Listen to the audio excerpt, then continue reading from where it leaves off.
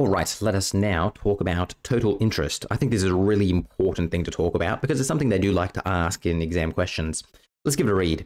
It says, when looking at loan options, it's useful to know how much interest will be paid over the life of a loan. It can also be useful to know how much of the money you have paid back at any point in time went towards covering the interest.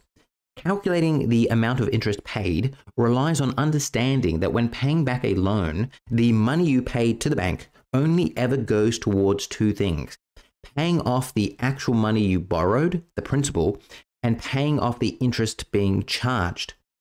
When you calculate the total interest being paid, so we calculate the total interest being paid using, so what you do to figure out the total interest paid, you say, well, what is the total amount that I have paid? And then you subtract it from the principal. When we calculate the amount of interest paid to a date at any point in time, we use the following.